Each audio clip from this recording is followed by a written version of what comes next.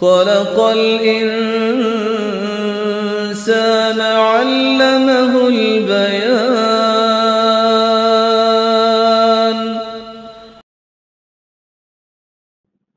نحمده ونصلي على رسوله الكريم.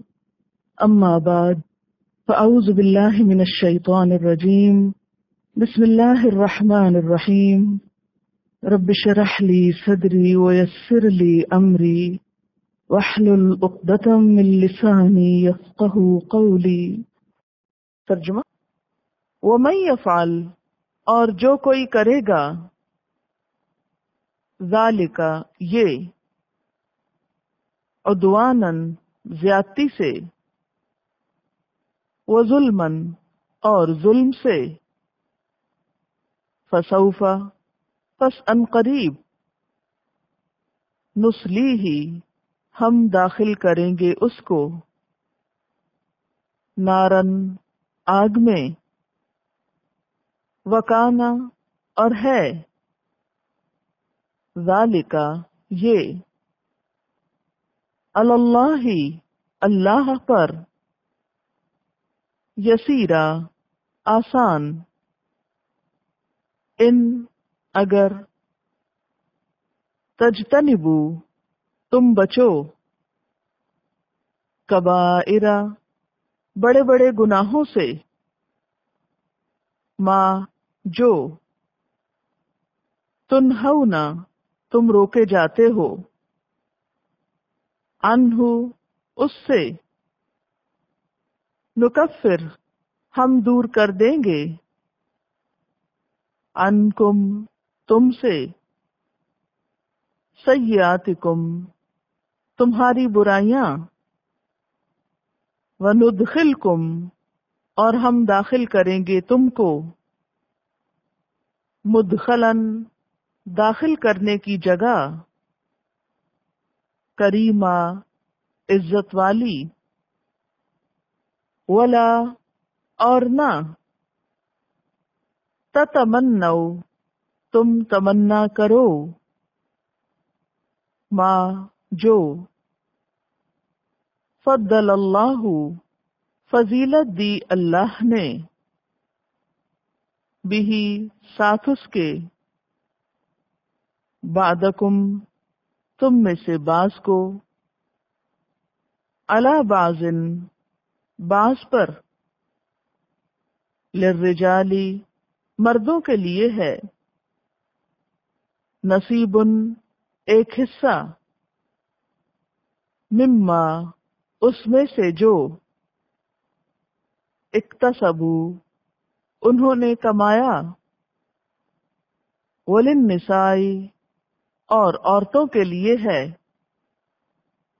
نصیب ایک حصہ۔ مما، اس میں سے جو اکتسبنا، انہوں نے کمایا۔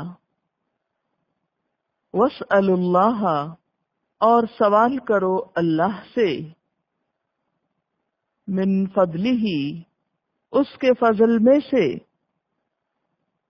ان اللہ بے شک اللہ تعالی کانا ہے۔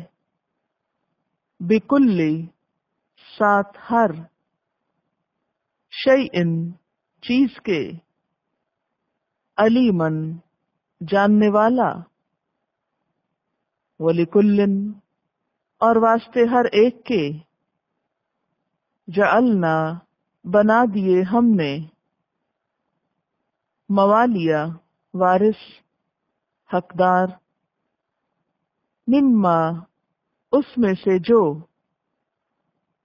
طرح کا چھوڑ جائیں، الوالدان والدین والاقربون اور رشتہ دار، قرابت دار، والذین اور وہ لوگ عقدت گرا باندھی۔ ایمانکم تمہارے دائیں ہاتھوں نے، فآتوہم، پس دو ان کو۔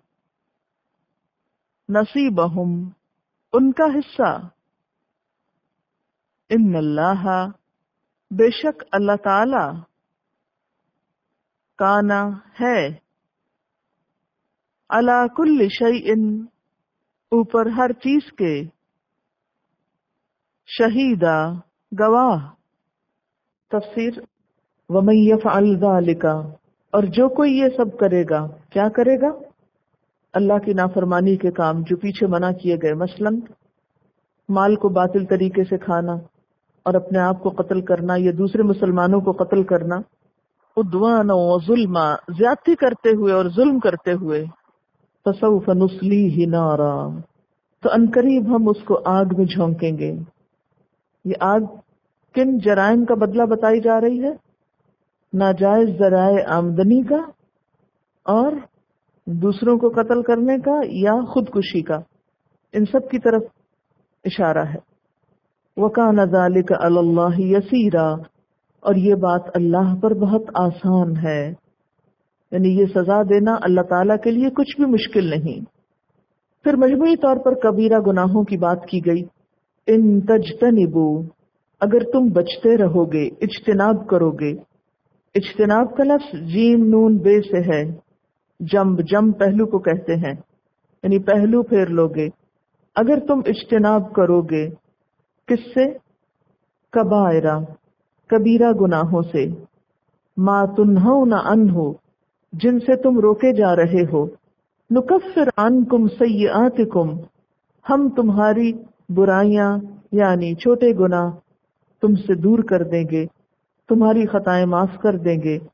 وندخلکم اور ہم داخل کریں گے تم کو مدخلن کریما، عزت والی داخل ہونے کی جگہ یعنی باعزت مقام میں تم کو داخل کر لیں گے۔ اس سے کیا بات پتہ چلتی ہے؟ کہ کبیرہ گناہوں سے اجتناب انسان کے لیے آخرت میں باعزت ٹھکانے کے حصول کا ذریعہ ہوگا۔ کبیرہ گناہوں سے بچنے کی بات کی گئی؟ کیوں؟ اس لیے کہ جو شخص بڑے گناہوں سے بچتا ہے وہ چھوٹوں سے پھر خود ہی بچنے لگتا ہے۔ اگر کوئی چھوٹے گناہوں سے نہ بچ رہا ہو، تو پھر اس کے لیے ممکن نہیں کہ بڑے گناہوں سے بچ سکے۔ تو بڑے کی بات کی گئی، چھوٹے اس میں خود ہی آ جائیں گے۔ فرمایا، تم بڑے بڑے گناہوں سے بچو، چھوٹوں سے بچنے کی توفیق تمہیں خود ہی مل جائے گی۔ اور آخرت میں بھی تمہارے لیے بہت بڑا اجر و ثواب ہے۔ اب کبیرہ گناہ کی تعریف کیا ہے؟ اس کے لیے علماء نے مختلف وضاحتیں فرمائی ہیں۔ ان میں سے ایک تو یہ ہے کہ ہر وہ فعل جس پر اللہ تعالیٰ نے کوئی حد مقرر کی، جیسے زنا ہے، چوری ہے، قتل ہے، یہ کبیرہ گناہ ہے۔ یا پھر وہ گناہ جس پر عذاب کی دھمکی دی گئی ہو کہ ایسا کرو گے تو تم کو عذاب دیا جائے گا، جیسے ابھی آپ نے خودکشی وغیرہ کا پڑھا۔ یا پھر وہ جس پر قرآن و حدیث میں لانت آئی ہو یعنی ایسا کام جس پر لانت کی بات کی گئی ہو۔ اور پھر وہ کام بھی جنہیں حرام کا درجہ دیا گیا ہو، اللہ اور اس کے رسول صلی اللہ علیہ وسلم کی طرف سے وہ چیزیں بھی کبائر میں آتی ہیں۔ امام زہبی ہیں۔ انہوں نے ایک کتاب لکھی ہے الکبائر کے نام سے۔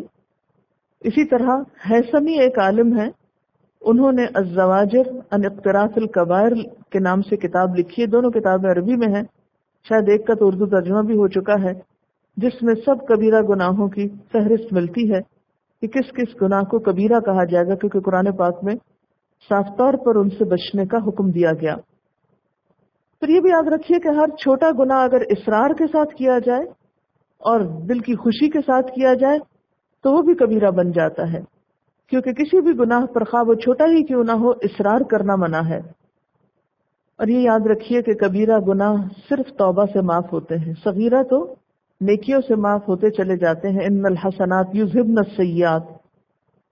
جب انسان نیکی کرتا مثلا وضو کرتا ہے، تو اس کی برائیاں دھل جاتی ہیں، اس کے صغیرہ گناہ دھل جاتے ہیں۔ پھر اسی طرح ذکر اذکار کرتا ہے، یا کچھ اور نیکی کے کام کرتا ہے، تو اس سے چھوٹے چھوٹے گناہ مٹتے چلے جاتے ہیں۔ لیکن جو شخص کبیرہ گناہ کا ارتکاب کرے، تو جب تک توبہ نہ کرے، اس کی معافی نہیں ہو سکتی۔ پھر اسی طرح یہ کہ کچھ کبیرہ گناہوں کی معافی اس وقت ہوتی ہے جب اس کا کوئی کفارہ دیا جائے۔ یعنی صرف زبانی توبہ کافی نہیں ہوتی، اس کا کفارہ دینا بھی ضروری ہوتا ہے۔ اب احادیث میں ہمیں کچھ کبیرہ گناہوں کی تفصیل ملتی ہے۔ بائی نیم ہمیں کچھ کبیرہ گناہوں کا پتہ چلتا ہے۔ چند ایک احادیث پیش خدمت ہیں۔ حضرت ابو حرارہ رضی اللہ تعالیٰ عنہ کہتے ہیں کہ نبی صلی اللہ علیہ وسلم نے فرمایا، سات ہلاک کرنے والے گناہوں سے بچو۔ صحابہ نے پوچھا، یا رسول اللہ صلی اللہ علیہ وسلم، وہ کون کون سے ہیں؟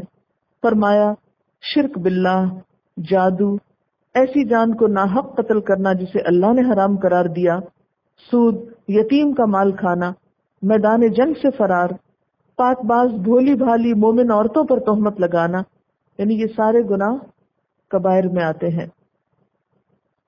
حضرت عبداللہ بن مسعود کہتے ہیں کہ میں نے رسول اللہ صلی اللہ علیہ وسلم سے پوچھا، اللہ کے نزدیک کون سا گناہ بڑا ہے؟ فرمایا، یہ کہ تو کسی اور کو اللہ کے برابر قرار دے، حالانکہ اللہ ہی نے تجھے پیدا کیا۔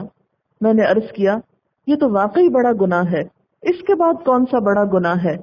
فرمایا، تو اپنی اولاد کو اس ڈر سے مار ڈالے کہ اسے کھلانا پڑے گا۔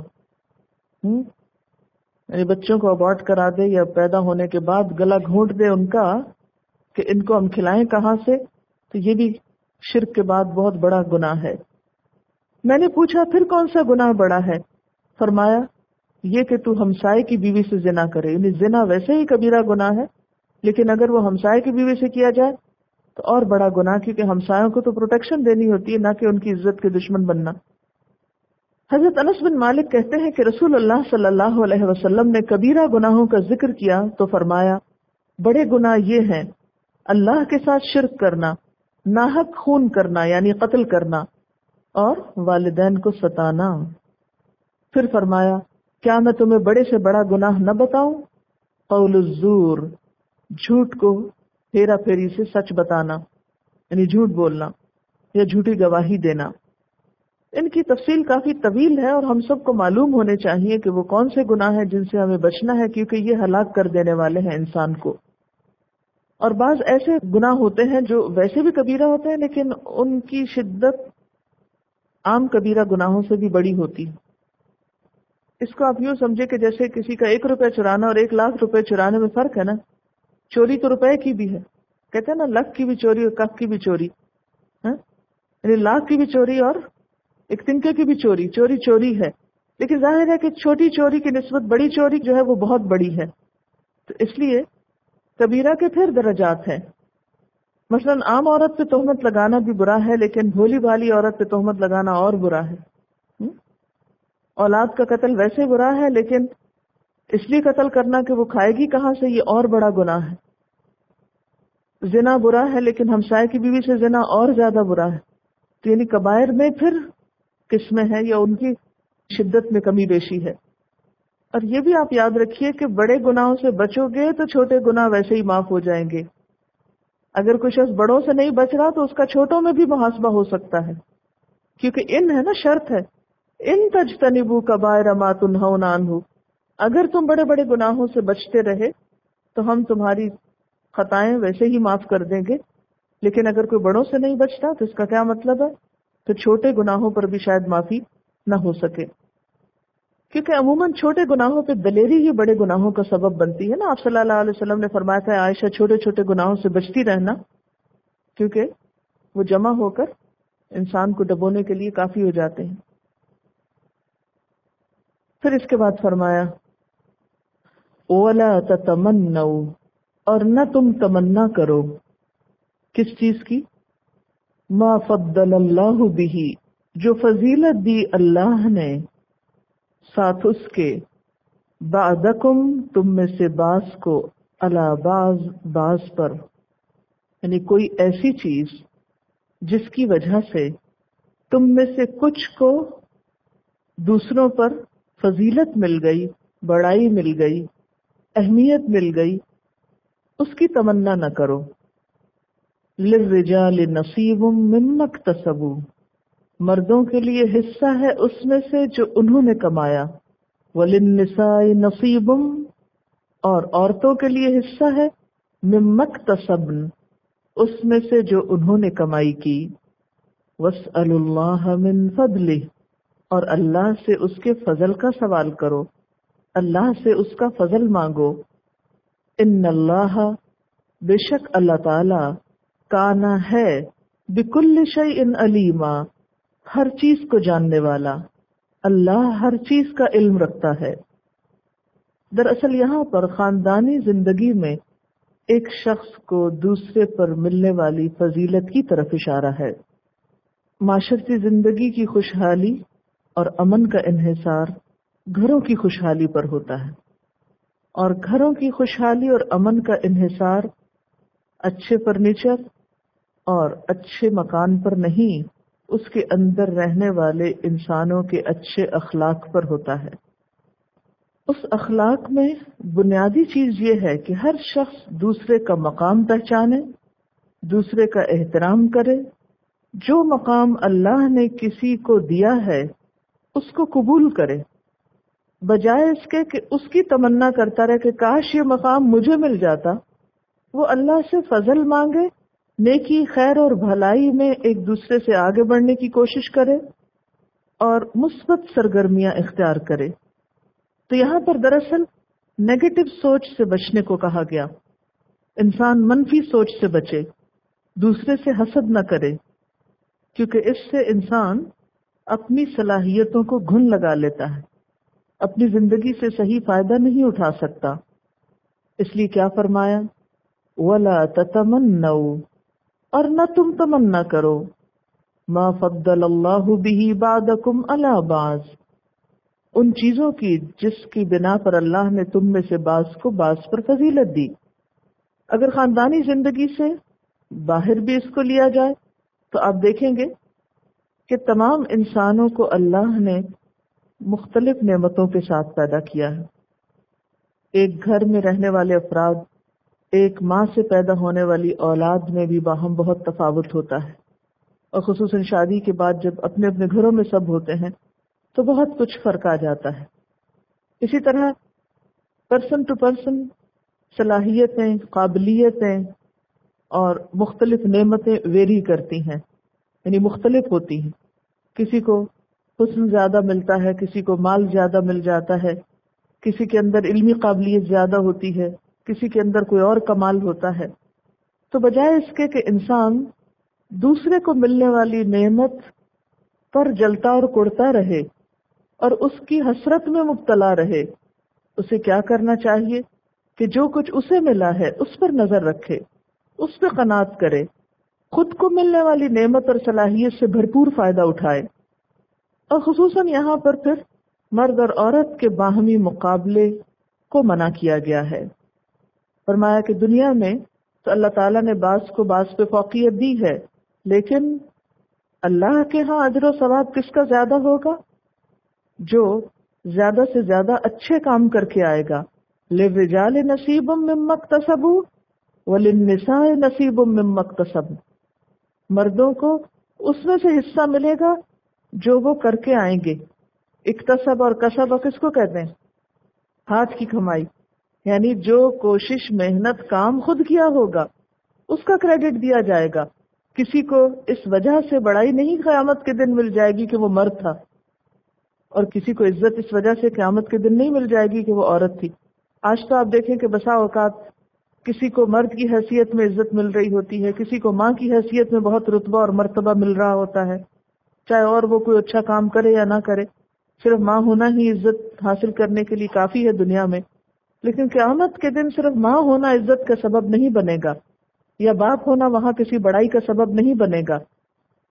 نصیب مکتسب وللنساء نصیب مم مکتسب مردوں کو اس میں سے حصہ ملے گا جو انہوں نے کمائی کی، عورتوں کو اس میں سے جو انہوں نے کمائی کی۔ بس اللہ من فضل اور اللہ سے اس کا فضل مانگو۔ عقل مند انسان دوسروں کو ملنے والے فضل پر جلنے کڑنے کی بجائے کیا کرتا ہے؟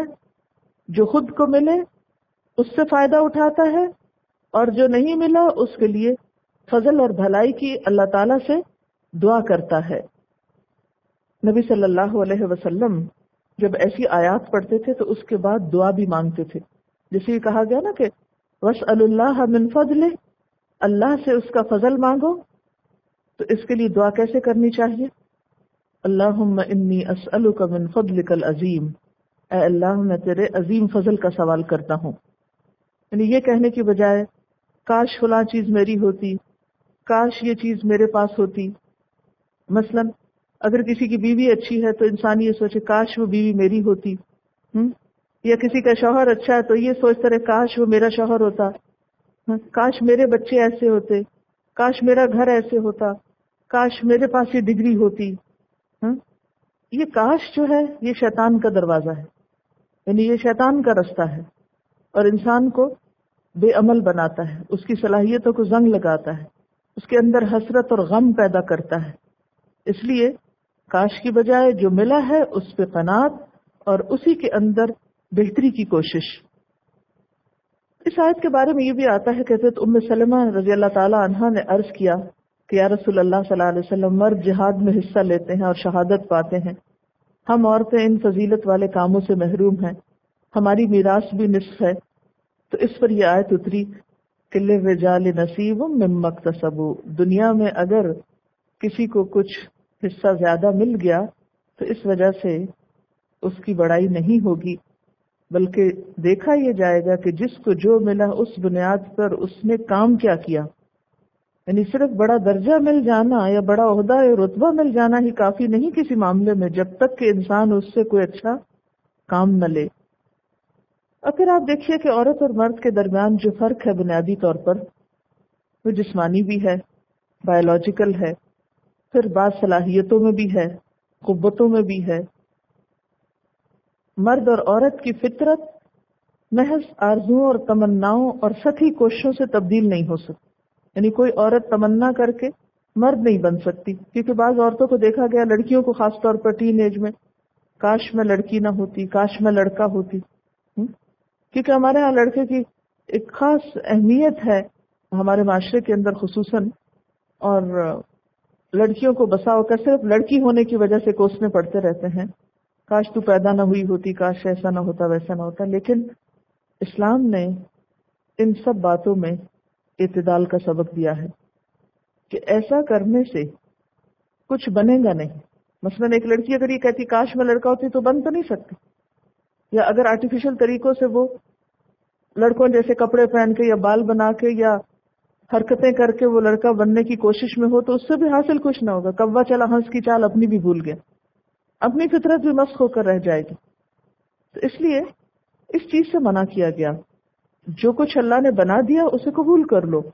اب کیا ہے؟ اپنے دائرے میں رہتے ہوئے جو ذمہ داریاں تم پہ ڈالی گئی ہیں، ان کو آسن طریقے سے نبھاؤ۔ کیونکہ ایک اور حدیث میں کہ جب ایک عورت نے ایسا ہی مسئلہ جا کے بیان کیا، تو آپ صلی اللہ علیہ وسلم نے فرمایا کہ جو عورت اپنے شوہر کے ساتھ آسن سلوک کرتی ہے یعنی اس کے ساتھ بہترین معاملہ کرتی ہے تو وہ گھر میں رہتے ہوئے بھی اس کے جہاد اور اس کے جو نیکی کے کام بڑے بڑے وہ باہر جا کے کرتا ہے، اس سارے اجر و ثواب کو وہ پالے گی۔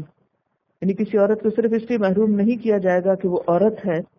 اگر وہ اپنی ذمہ داریاں پوری کر رہی ہے، تو وہ بھی اجر و ثواب میں کچھ کم نہیں، پیچھے نہیں۔ مثلا ایک عورت جب ماں بنتی ہے تو ماں ہوتے ہوئے اس پر جو بوجھ پڑتا ہے، جو ذمہ داریاں وہ نبھاتی ہے، اس بنا پر اس کو باپ کے مقابلے میں تین گنا زیادہ حق دیا گیا۔ لیکن آپ دیکھیں کہ ہمارے ہاں عموماً کیا صورت حال ہے؟ ہم یہ نہیں دیکھتے کہ ہمارے پاس کیا ہے، ہم یہ دیکھتے ہیں کہ دوسروں کے پاس کیا ہے۔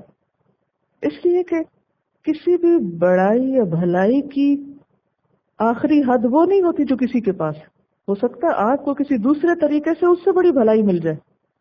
اور اسی طرح مرد بننے کی آرزو کرنے کی بجائے عورت ہوتے ہوئے جو صلاحیت دائرہ کار ہمیں ملا ہے اس کے مطابق نیک عمل میں دوڑ لگانی چاہیے۔ کیونکہ اصل مقصود کیا ہے؟ اللہ کی رضا پانا۔ کہیں یہ نہیں لکھا ہوا کہ عورت یہ رضا پا نہیں سکتی، عورت بڑے درجے پہ آ نہیں سکتی، اس کو بلند مقام مل نہیں سکتا، اللہ کی نگاہوں میں نہیں۔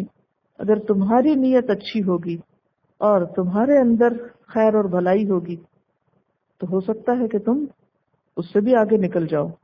ملے گا وہ جو کمائی کر کے آؤ گے، صرف باتوں اور تمنا اور آرزوؤں سے کچھ حاصل نہیں۔ ان اللہ کا نبی کل ان علیما، بے شک اللہ ہر چیز کا علم رکھنے والا ہے، ہر چیز کو جاننے والا ہے۔ پھر فرمایا، وَلِكُلٍّ اور ہر ایک کے لیے ہم نے موالی مقرر کیے۔ موالی کے بہت سے معنی ہیں۔ ولا کہتے ہیں، دو چیزوں میں ایسی کیفیت کہ اجنبیت حائل نہ رہے۔ قرب مکانی مراد ہے۔ یعنی نصب کے اعتبار سے قرب یا دینی دوستی یا اعتقاد کے اعتبار سے یعنی ہم عقیدہ ہونا یا مالکیت اور مملوکیت کے اعتبار سے۔ یعنی ایک تو ہوتا نا خون کا رشتہ۔ اور ایک خون کا رشتہ نہیں ہے، دوستی کا رشتہ ہے۔ لیکن اتنا قریبی دوستی کا رشتہ ہے کہ کوئی اجنبیت نہیں ہے۔ وہ کہتے نا، ہم پیالہ، ہم نوالا، ہم مشرب۔ یعنی گہری دوستی مراد ہے۔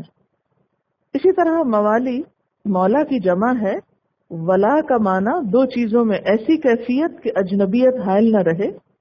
مراد اس سے گہری دوستی ہے۔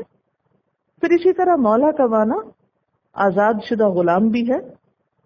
پھر مولا وہ اسبات جو زویل فروز کے بچے ہوئے مال کے وارث ہوتے ہیں، ان کے لیے بھی یہ لفظ استعمال ہوتا ہے۔ یعنی ایک ٹرم بھی ہے علم المیراث میں۔ پھر اسی طرح ابن عباس کے مطابق مولا سے مراد وارث ہیں۔ مولا سے مراد وارث ہیں۔ تو فرمایا کیا جا رہا ہے؟ وَلِكُلٍّ، اور ہر ایک کے لیے۔ جعلنا، ہم نے مقرر کر دیے۔ کیا؟ موالیا موالی یعنی وارث۔ یعنی کسی بھی میت کے کون وارث ہو سکتے ہیں؟ وہ ہم نے مقرر کر دیے ہیں۔ ہم نے خود طے کر دیا۔ ہے مما اس میں سے جو ترکل والدانی جو چھوڑ جائیں والدین بل اقربون اور قریبی رشتہ دار۔ والدین اور قریبی رشتہ دار جو کچھ چھوڑ جائیں، اس کے ہم نے وارث مقرر کر دیے ہیں۔ والذین عقدت ایمانکم، اور وہ لوگ کہ گرہ باندھی، عقدت، گرہ لگائی، ایمانکم تمہارے عہد و پیمان نے یعنی جن سے تمہارا قریبی تعلق ہوا، جن سے تمہارا عہد و پیمان ہوا، ان کے ساتھ کیا معاملہ کرو؟ فآتو ہم نصیب ہوں ان کو ان کا حصہ دے دو۔ اصل میں اسلام سے پہلے جو تعلقات کی نوعیت تھی، پہلے بھی میں آپ کو بتا چکی ہوں کہ بعض اوقات لوگ کیا کہتے تھے؟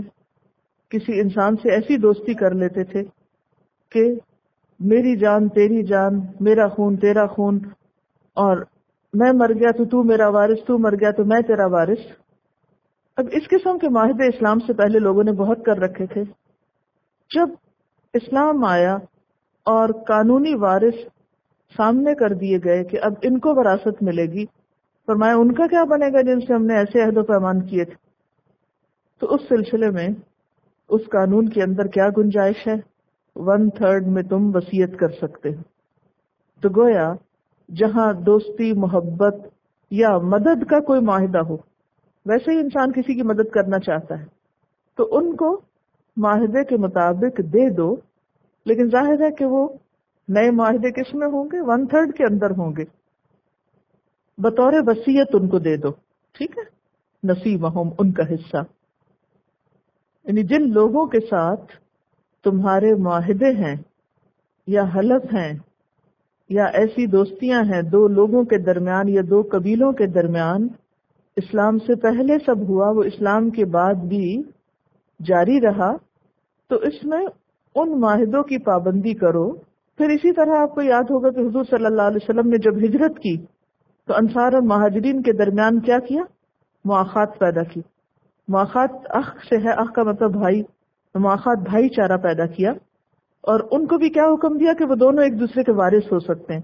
لیکن جب یہ قانون آ گیا، قانون وراثت تو اس کے بعد پھر وہ چیز منسوخ ہو گئی اور قرآن پاک کی صورت الانفال کی آیت 75 میں آتا ہے وہ اول الرحام عبادہم اولا ببادن فی کتاب اللہ یعنی اب خون کے رشتے یا رشتہ داریاں اس مواخات کی نسبت اللہ کی کتاب میں زیادہ اولا ہیں، قریب تر ہیں۔